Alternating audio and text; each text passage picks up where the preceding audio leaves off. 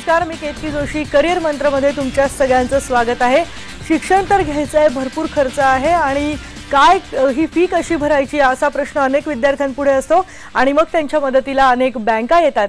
याच शैक्षणिक कर्जाबद्दल आज आपण आपल्या या कार्यक्रमात जाणून घेणार आहोत आणि आपल्याला मार्गदर्शन करण्यासाठी आपल्यासोबत आहेत ठाणे भारत सहकारी बँक लिमिटेडचे सीईओ शेखर देसाई.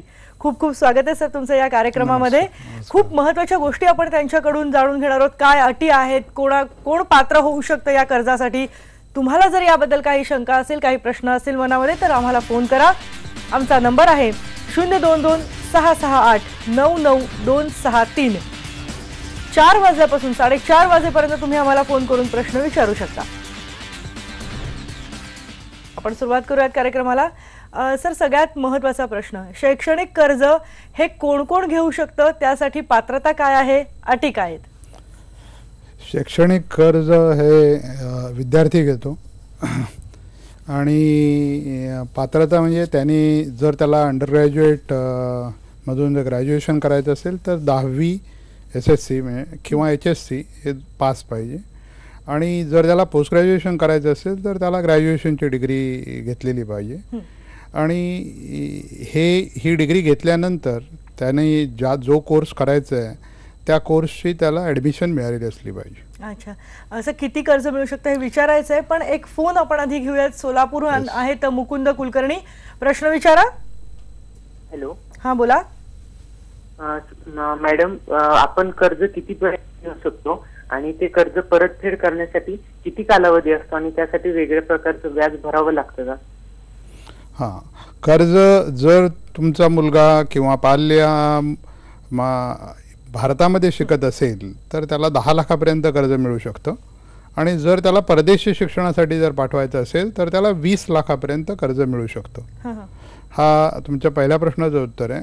दुसरा प्रश्न तुमचा कसं व्याज आणि कसं परतफेड कसं करायची? परतफेड? व्याजाचा दर जो आहे तो साधारणपणे आत्ताच्या सगळ्या नॅशनलाइज कोऑपरेटिव्ह आणि प्रायव्हेट सेक्टर बँकेमध्ये दहा टक्के ते बारा साडेबारा टक्क्यापर्यंत व्याजाचा दर आहे. याच्यामध्ये एक टक्क्याची सेंट्रल गव्हर्नमेंटनं दिलेली सबसिडी पण मिळू शकते व्याजावरची.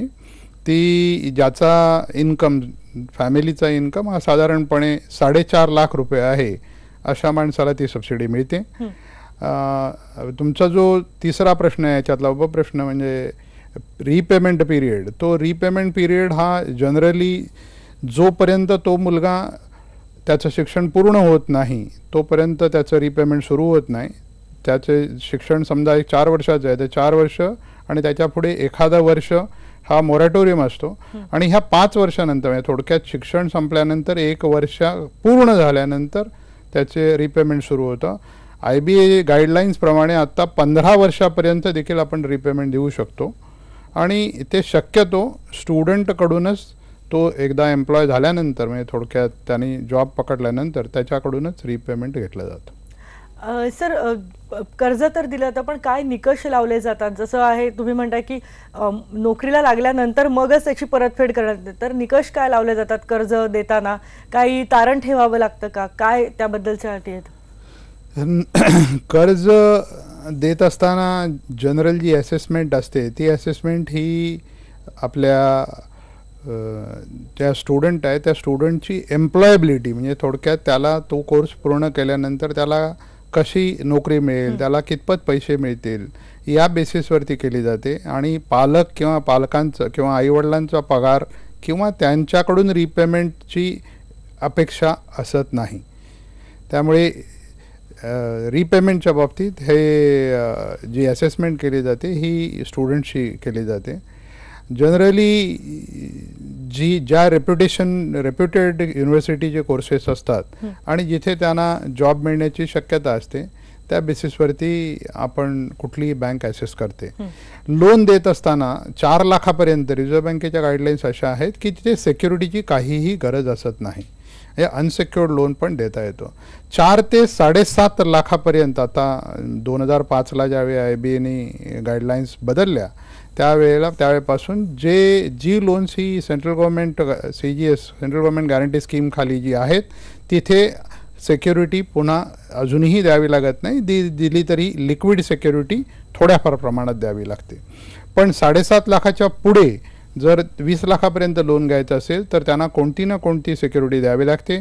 मग ती एन एस सी असतील शेअर्स असतील गोल्ड असेल किंवा थर्ड पार्टी सिक्युरिटी असेल एफ डी आर्स असतील किंवा इवन लँड ऑर बिल्डिंग असेल की ज्या फ्लॅटवरती ऑलरेडी अगोदर जर त्यांनी लोन घेतलं असेल तर जर त्याच्यामध्ये गॅप असेल तर तिथेही त्याच्यावर चार्ज ठेवून ते सिक्युरिटी ॲक्सेप्ट करता येते. सर पुढचा फोन आहे नगरहून मुबारक पठाण. यांचा मुबारक प्रश्न विचारा. हॅलो सर म्हणलं अल्पसंख्याकांसाठी काय फॅसिलिटीज बँकांच्या परत विचारा प्रश्न तुमचा. अल्पसंख्याकांसाठी काय फॅसिलिटीज अल्पसंख्याकांसाठी काही अल्पसंख्याकासाठी फॅसिलिटी अशा वेगळ्या नाही आहेत पण इकॉनॉमिकली विकर सेक्शन साडेचार लाखापर्यंत ज्यांचा इन्कम आहे अशांना सेंट्रल गव्हर्मेंट एक टक्का इंटरेस्ट सबसिडी देते. ही फॅसिलिटी आहे. आणि जनरली इंटरेस्ट रेट्स जे आहेत ते इंटरेस्ट रेट हे बे बेस रेट किंवा पी एल आर या रेटशी लिंक असतात आणि ते साधारणपणे दहा टक्के ते साडेबारा टक्क्यापर्यंत रेट सर्व बँकांचे एज्युकेशनल लोनवर असतात की जो सर्वांसाठी असलेला बेनिफिट खूप महत्वाची माहिती देताय तुम्ही सर. जसं तुम्ही सांगताय की भारतातल्या शिक्षणासाठी काही ठराविक दहा लाखांपर्यंत कर्ज घेता येऊ शकतं. आणखी आम्हाला यातले खूप महत्त्वाचे मुद्दे खरं तर विचारायचे आहेत पण एक ब्रेक आपण घेतोय आणि ब्रेकनंतर आपण परत भेटणार आहोत. पहा फक्त आय बी एन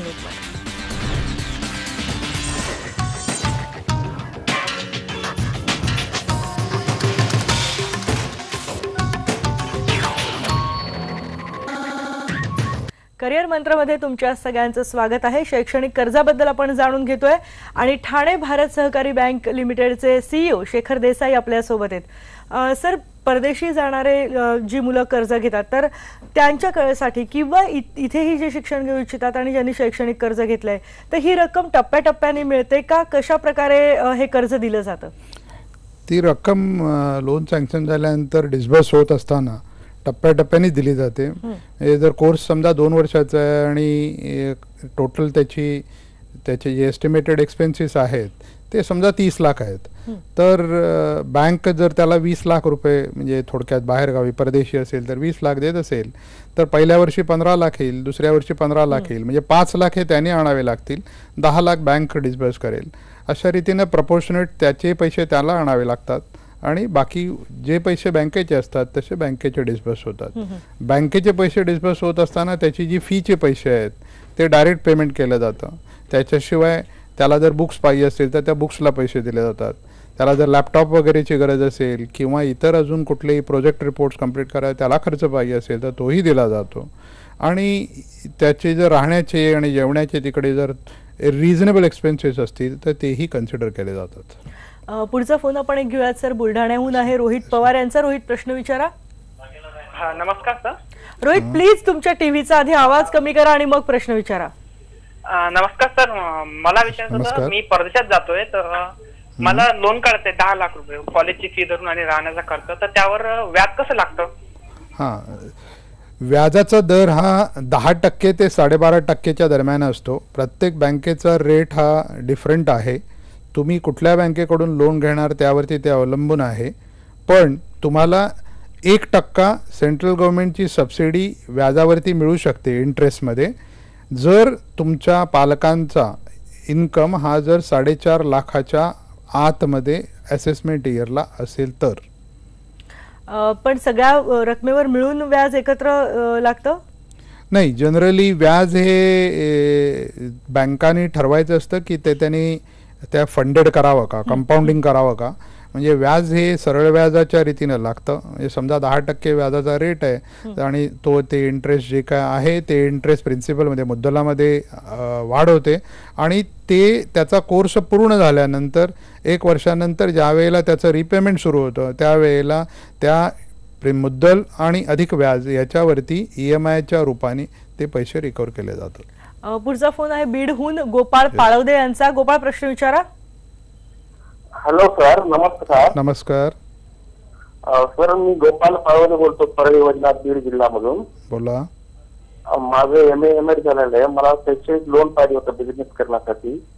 बिझनेस करण्यासाठी. हा सर ओके तर ते बिझनेस कोणता करावा आणि त्या- त्याचा इंटरेस्ट कसा लागेल सर? सो थोडस हे आपल्या हा शैक्षणिक कर्जाच्या बाहेरचा हा विषय आहे. हा विषय शैक्षणिक कर्जाचा आहे पण बिझनेस कर्जालाही बँका लोन देतात. तुम्ही कोणता बिझनेस आहे काय आहे कसा करणार आहात त्याची प्रॉफिटेबिलिटी काय आहे तुमचं स्वतःचा ओन स्टेक किती आहे तुम्ही कोणती सिक्युरिटी देत आहे तुम्हाला त्यातला काय एक्सपिरियन्स आहे? ह्या सगळ्या गोष्टीचा एकंदरीत ती तुम्ही जी ऍक्टिव्हिटी करताय त्या ऍक्टिव्हिटीला कसा स्कोप आहे? या सगळ्याचा विचार करून बँक जरूर तुम्हाला मदत करू शकते. आणि तरुण वर्ग हा असाच पुढे आला पाहिजे धंदा करण्यासाठी. त्यांना मदत करायला बँका उत्सुक आहेत तत्पर आहेत. नक्कीच. पुढचा फोन आहे कोल्हापूरहून शंतनू पाटील यांचा. शंतनू प्रश्न विचारा. नमस्कार मॅडम. हा बोला. नमस्कार. सर. नमस्कार नमस्कार. मॅडम जे प्रायव्हेट इन्स्टिट्यूट असतात जसं की अॅनिमेशन वगैरे नाहीतर हॉटेल मॅनेजमेंट मॅनेजमेंट त्याच्यासाठी लोन भेटू शकतं. खूप महत्त्वाचा प्रश्न आहे हा एक. जरूर जरूर सी. जी जे युनिव्हर्सिटीचे रिकग्नाइज कोर्सेस आहेत म्हणजे सगळ्या डिग्रीज आहेत B A B com B S C ह्या देखील किंवा प्रोफेशनल कोर्सेस आहेत C A I C W A company secretary किंवा I M I I Ts आहेत आणि बाकी ॲनिमेशन किंवा इतरही कोर्सेस आहेत या सगळ्या कोर्सेसना बँका लोन देऊ शकतात. त्यामुळे तुम्हाला लोन जरूर मिळेल. या कोर्समधून तुम्ही तुम्ही हे बघितलं पाहिजे की तुम्हाला पुढे त्या कोर्स पूर्ण केल्यानंतर नोकरी मिळण्यासाठी कसा स्कोप आहे आणि तुम्ही पैसे कसे त्याच्यातून नंतर जनरेट करू शकाल? इन्कम कसा जनरेट होईल? खरं तर खूप महत्वाची माहिती आणि खूप महत्त्वाचे मुद्दे आणखी जाणून घ्यायचे आहेत पण पुन्हा आपण एक करिअर मंत्रामध्ये ब्रेक घेतोय. पहा फक्त आय बी एन लोकमत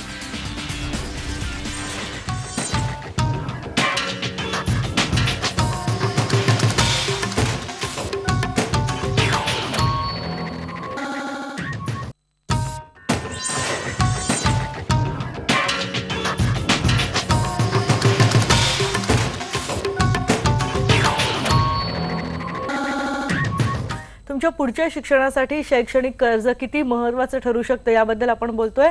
आणि ठाणे भारत सहकारी बँक लिमिटेडचे सीईओ शेखर देसाई आपल्यासोबत आहेत. सर मार्जिनबद्दल विचारायचं आहे की का कशा प्रकारे हे मार्जिन द्यावं लागतं विद्यार्थ्यांना? किती रकमेपर्यंत काही सवलत आहे का त्यामध्ये? हां मार्जिन चार लाखापर्यंत मार्जिन काहीच नाही आहे पण चार लाखाच्या पुढे मार्जिन जे देशामध्ये शिक्षण घेत आहेत आणि दहा लाखापर्यंत लोन घेत आहेत त्यांना पाच टक्क्याचं मार्जिन आहे. आणि जे परदेशातलं कर्ज घेत आहेत जे वीस लाखापर्यंत आहे तिथे पंधरा टक्क्याचं मार्जिन मार्जिन म्हणजे थोडक्यात त्यांनी स्वतः त्याचे पैसे आणायचे आहेत. जनरली जर त्याची नीड समजा परदेशात तो शिकायला चालला आणि त्याची नीड वीस लाखाच्या ऐवजी चाळीस लाख आहे तर त्याचं मार्जिन वीस लाखापर्यंत जाईल कारण बँक लोन वीस लाखच देते. म्हणजे थोडक्यात वीस लाख हे त्याला स्वतःला स्वतःच्या रिसोर्समधून रेज करावे लागतील. हम्म, हम्म. एक फोन आला आपल्याला अमरावतीहून अनिकेत इंगळे यांचा. अनिकेत प्रश्न विचारा. हॅलो सर नमस्कार. हां नमस्कार. सर मला कर्ज घ्यायचं होतं. हां बोला. मला परदेशात मी हॉटेल मॅनेजमेंट करत आहे तर मला परदेशात जायचं होतं. बर. तर मी मी स्टेट बँकेत गेलो तर ते नाही म्हणतात किंवा हॉटेल मॅनेजमेंटसाठी कर्ज भेटणार नाही. तर मी काय करावं? हॉटेल मॅनेजमेंटला कर्ज मिळू शकणार तुम्हाला. वीस लाखापर्यंत तुम्हाला तुमचे फार परदेशात शिक्षण घ्यायचं आहे म्हटल्यानंतर तुम्हाला लोन मिळू शकतं. तुम्ही तुमच्या जवळची कुठची जी बँक किंवा ब्रांच असेल त्यांच्याकडचा लोन ॲप्लिकेशन तुम्हाला भरून द्यावं लागेल. आणि त्या अगोदर तुम्हाला हॉटेल मॅनेजमेंटची जी थोडक्यात एंट्रन्स एक्झामिनेशन आहे तिथली ॲडमिशन जिथे कुठे मिळते आहे ती ॲडमिशन तुम्हाला त्याचे पेपर दाखवावे लागतील. तुम्हाला जे काय त्याचा टोटल सगळा खर्च येणार आहे. म्हणजे फीज आहे तिथे राहण्याचा खर्च आहे तुमचा इतर काय त्यांना लागणारं बुक्सचा खर्च आहे किंवा कॉम्प्युटर वगैरे तुम्हाला लागणार असेल त्याचा लॅपटॉपचा वगैरे खर्च आहे. हा सगळा खर्च तुम्हाला एकत्र त्याचं एस्टिमेट द्यावं लागेल. आणि समजा तो खर्च जर वीस लाखाच्या वरती असेल तर तुम्ही ते कसे रेज करणार हेही त्यांना द्यावं लागेल. तुम्ही तुमची एकंदरीत किती गरज आहे त्या बेसिसवरती तुम्हाला लोन लोन मिळू शकेल. म्हणजे स्टेट बँकेतून लोन मिळणार नाही असं होणार नाही. कारण पण तुम्ही जर त्यांना स्टेट बँक तुम्हाला देत नसेल तर त्याचं रिजेक्शनचं कारण तुम्ही त्यांच्या त्यांच्याकडे मागितलं पाहिजे आणि इन्सिस्ट केलं पाहिजे. पुढचा फोन आहे बीडहून गोकुळ बगलानी. यांचा गोकुळ प्रश्न विचारा. सर मी दहा लाखाचं कर्ज घेतलेलं आहे. बोला. पण त्यांचं व्याज दर कधी सुरू होईल? कधीपासून लागू लागेल व्याज दर एक लक्षात घ्या. ज्या वेळेला तुम्ही दहा लाखाचं कर्ज घेतलं त्यावेळी व्याज हा पहिल्या दिवसापासूनच सुरू होणार. पण ते व्याज तुम्हाला ताबडतोब भरावं लागणार नाही. ज्या वेळेला तुमचा कोर्सचा पिरियड संपणार. म्हणजे समजा तो दोन वर्षाचा जर कोर्स आहे तर दोन वर्ष आणि पुढे एक वर्ष अजून मॉरेटोरियम तुम्हाला जॉब मिळण्यासाठी म्हणून दिलेला असतो. तीन वर्षापर्यंत हे व्याज तुम्हाला जे लागतं ते व्याज तुमच्या मुद्दलामध्ये अधिक होतं ॲड होतं. आणि त्यावरती नंतर इक्वेटेड मंथली इन्स्टॉलमेंट म्हणजे ई एम आय दिला जातो. आणि व्याज हे जोपर्यंत तुम्ही लोन पूर्ण रिपेमेंट करत नाही तोपर्यंत जे मुद्दल शिल्लक आहे त्या मुद्दलावरती व्याज लागत राहतो. पुढचा फोन आहे उस्मानाबादहून श्रीमंत सांगडे यांचा. प्रश्न विचारा. मॅडम असं की एखादा समजा शेतकरी आहे. आता शेतकरी समजा त्याच्याकडे सिक्युरिटी म्हणून काय देण्यासारखं जर नसेल तर समजा त्यांनी काय करायचं? हा प्रश्न चांगला आहे. सी तो काय करणार आहे आणि त्याला किती पैशाची गरज आहे त्याच्यावर हे अवलंबून आहे. चार लाखापर्यंत अनसेक्युअर्ड लोन म्हणजे थोडक्यात तुम्हाला काहीही सेक्युरिटी न मागता लोन देता येत होतं. दोन हजार पाचमध्ये अर्थमंत्र्यांनी सांगितल्यानंतर आय बी एनी त्याच्यात लक्ष घालून पुन्हा ती स्कीम सुधारली आणि आता साडेसात लाखापर्यंत जे क्रेडिट गॅरंटी स्कीम खाली आहेत त्यांना विदाऊट एनी सेक्युरिटी तुम्हाला लोन मिळू शकतं. साडेसात लाखाच्या वरती जर तुम्हाला लोन पाहिजे असेल तर तुम्हाला कोणती ना कोणती तुमचीच नाही दुसरी थर्ड पार्टी सिक्युरिटी दिली किंवा एनी लिक्विड सिक्युरिटी दिली. जशा किसान विकास पत्र आहे बचत पत्र आहे किंवा सोनं आहे किंवा तुमची इव्हन सातबाराची जमीन आहे तीही त्या सिक्युरिटीवरती तुम्हाला लोन मिळू शकेल. असं खरं तर खूप आणखी महत्त्वाचे मुद्दे जाणून घ्यायचे आहेत पण आपल्याला वेळेची मर्यादा आहे. आज इथे तुम्ही वेळात वेळ काढून आलात आणि आमच्या आणि आमच्या प्रेक्षकांच्या प्रश्नांना खूप छान उत्तरं दिलीत. त्याबद्दल तुमचे खूप खूप आभार. थँक्यू नमस्कार. टॉक टाईममध्ये आता वेळ झाली करिअर मंत्रामध्ये वेळ झाली आता इथेच थांबण्याची. पुढच्या वेळेस भेटणार आहोत आणखी नवीन विषयासह. पहा फक्त आय बी एन लोकमत